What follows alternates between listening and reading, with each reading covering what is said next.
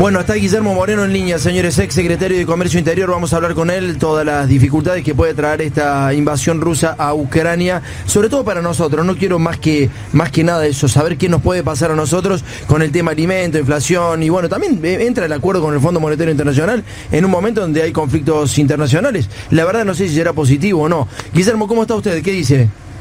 ¿Qué tal? ¿Cómo estás? Un placer, ¿eh? Bueno, pónganle más onda, le pido por favor, si, si, eh, eh, pongámosle más, más, arriba el tonito, ¿sí? ¿Le parece? vamos, vamos por favor. Eh, sos bravo vos. Eh. Sí, pero yo te, también. No, no va a dormir en la audiencia, Moreno. Vos sos, vos sos de lo que ablandás al arranque nomás. bueno, Moreno, vamos con todo. Eh, ¿Cómo afecta esta guerra a los argentinos? O cómo piensa que le va a afectar en la vida cotidiana? Mira, depende de las decisiones que tome el gobierno. Si el gobierno subiera las retenciones al máximo eh, de los productos exportables alimenticios, esto de trigo, maíz, carne, lo que fuere, sí. y a su vez baja el costo de los arrendamientos rurales, con eso va a recaudar incluso para poder honrar los compromisos con el Fondo Monetario Internacional, uh -huh. dejando a un lado este acuerdo muy, muy, muy malo que en principio está trascendiendo por los medios. Claro. Podría transformar, podría transformar una situación horrible para el mundo, que es una situación de guerra entre dos pueblos, sí. en una situación virtuosa para la Argentina. Uh -huh. Pero yo no creo que Alberto Fernández lo haga. Tiene una oportunidad, pero no creo que lo vaya a hacer. ¿Cómo debería aprovecharse esa. ¿Cómo, cómo, cómo debería aprovecharse La esa técnica- oportunidad? Técnicamente es muy sencillo. Sí. Los precios de los cereales y oleaginosas han alcanzado récord históricos que están por ahí. Ujú.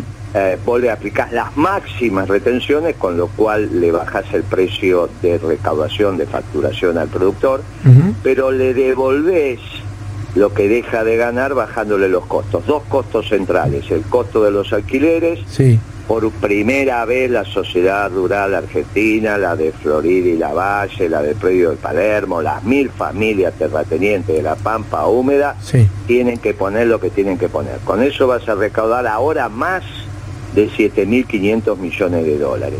Y a su vez le tenés que bajar el precio de la energía. Hay que poner la energía fósil, sobre todo la energía fósil, pero el conjunto de la matriz energética argentina también, en función de los costos de producción y exploración. No puede ser que se estén discutiendo el precio de las tarifas eléctricas, la tarifa del gas y no sabemos los costos de generación en las empresas de generación. Porque cuando ellos te hablan de los costos de generación es para la distribuidora. Claro. Entonces vos sos una distribuidora y decís, ah, sí, mi costo de generación es el que me vende la empresa que genera la electricidad. No, nosotros estamos hablando de los costos de las empresas de generación. No sabemos cuánto cuesta generar un mega en la Argentina. Y si no sabes cuánto cuesta generar un mega en la Argentina, no podés saber si la electricidad que vos pagás es cara y barata. Dos cosas que te quería preguntar, Guillermo. Eh, que- ¿Este que- tono te parece bien, che? O, o- me, me parece bien, ahí, ahí estamos entrando en juego, ¿eh? Y, y si un poquito más arriba, mejor.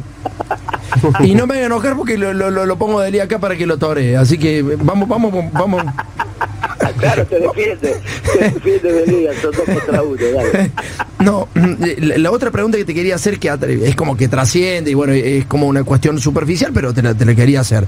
Suben los commodities, te puede subir el trigo, el maíz, te suben lo- los alimentos en Argentina, sube eh, el gas, digamos, sube el petróleo, eh, vos importás mucho gas y petróleo, también eso te complica.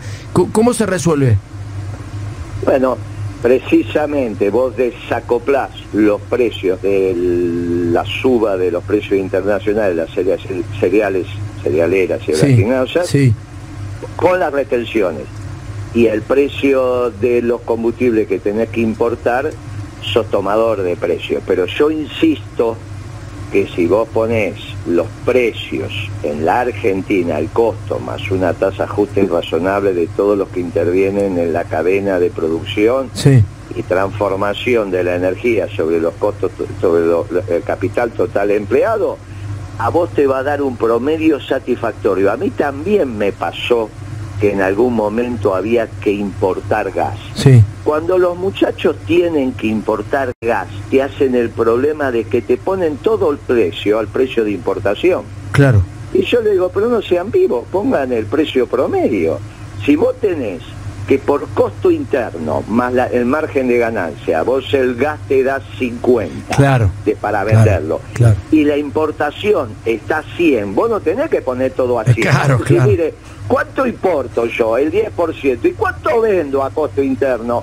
El 90%. Che, es un promedio ponderado muy fácil. sí. Porque si vos me pones el precio a la paridad de importación, y me desligo de los costos internos, entonces tengo una ganancia súper extraordinaria. Sí, para desacoplar los precios internacionales, ¿a cuánto debería estar las retenciones? Y al máximo que permitan los proyectos de implantación, entonces lo que te da el trigo, vos lo sabes muy fácil, son los precios internacionales sobre los costos de implantación del trigo en la Argentina. Está bien. ¿Cuánto te cuesta a vos implantar una, una hectárea de trigo en función del RIN, de la, obviamente la calidad de la, de la hectárea, más el margen de ganancia que se considera justo y razonable. Y todo lo demás es retención, es así de sencillo. Para eso son, en su momento nosotros lo hicimos con el petróleo, con las retenciones móviles, vos te debes acordar. Sí, sí, claro. Entonces subía subía el precio internacional del petróleo, vos subía las retenciones, bajaba el precio internacional del petróleo, bajaba las retenciones y vos te manejabas a costo doméstico, a mm. costo interno. No te importa, vos, imagínate si a vos te va a pagar la radio lo que gana un locutor en la CNN en Nueva York. Es imposible. Funde la radio. Bueno, ¿qué tiene que ver? Y vos haces el mismo trabajo. Claro. Así vivimos todos. Tenemos que vivir en la Argentina a costos argentinos más tasa de ganancia argentina. ¿Cómo te va, Guillermo? Eh, Ernesto Adida te habla. ¿Cómo andas? Eh, mirá, no estaría mal lo de la CNN, lo estoy pensando. Me parece que sería bueno para mí y para muchos. Para... Llega a plantear el top 5 de reciente pegan un patadón en el orto, ¿sabes qué está ¿Por qué? ¿En serio? Planteó, eh, dale, ahí, hacerle pregunta Moreno. Bueno, a ver, eh, Guillermo, hay una realidad que parece inobjetable, pero es, ¿van a subir los precios realmente en la Argentina con esto? ¿Va a afectar directamente? ¿Vamos a importar inflación? Si Alberto, el gobierno, no toma las medidas técnicas que acabamos de describir, no tengas ninguna duda, porque los muchachos se van a parar en paridad de exportación. Mm. Si te pueden vender afuera a 360 el trigo, 330, 360, ¿por qué te lo van a vender acá al precio que te lo estaban mm. vendiendo? ¿Y, tenés miedo de una hiper? Directo. ¿Tenés miedo de una hiper? Mira, eh, todo depende de lo que pase con el Fondo Monetario. Si acuerdan este desastre con el Fondo Monetario, para fin de año vas a tener muchísimas empresas en un sendero deflacionario, porque la recesión va a ser brutal. Mm. Vos no te olvides que el Fondo Monetario le entregó a Guzmán lo que Guzmán le pedía, que era ese famoso déficit fiscal primario.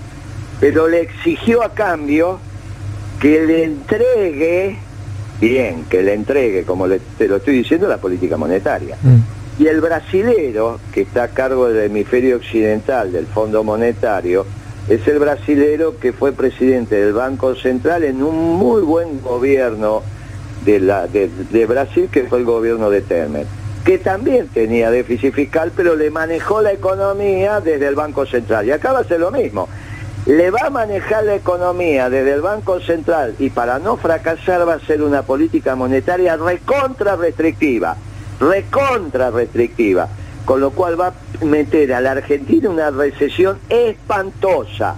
Venimos de una situación muy difícil y te quieren recesionar la economía. Imagínate lo que van a hacer las empresas en el segundo semestre de este año. Vamos, Walter Moreno, Walter Guba lo saluda, buen día. ¿Qué tal? Usted dijo que el gobierno no se va a animar a hacer este planteo que usted está haciendo respecto de las retenciones. ¿No se va a animar por una cuestión de, un, de equilibrio de fuerzas, por una cuestión ideológica, por una cuestión política? ¿Por qué cree que no se va a animar?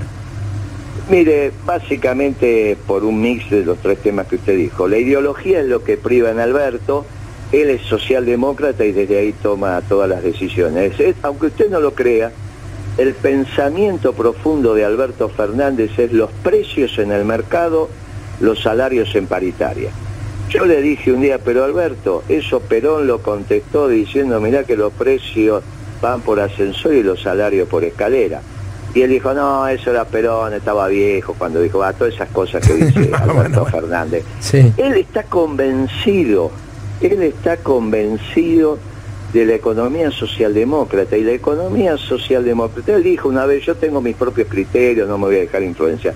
La economía socialdemócrata y la economía neoliberal tienen extremas similitudes, de tal manera que pudieron hacer de, de, forma conjunta el consenso de Washington. Esto que digo no es menor, el consenso de Washington lo hizo la Thatcher, lo hizo Reagan, pero también lo hizo Felipe González. Los europeos socialdemócratas continentales participaron en el consenso de Washington y fueron los ganadores de ese modelo de globalización. Y ahí está metido Alberto Fernández, ya es un matambre duro, no lo vas a ablandar. Entonces, no va a tomar estas decisiones. ¿Por qué socialdemócrata? No va a tomar las decisiones porque va a salir a explicar que políticamente no la da la correlación de fuerza. Y no va a salir a tomar estas decisiones porque básicamente no tiene el coraje para gobernar a este pueblo y a esta patria. Te mando un abrazo grande, Moreno. Chao, hasta luego. Ha tirado más bomba que en Kiev, hermano. Un abrazo grande. Chao, hasta luego.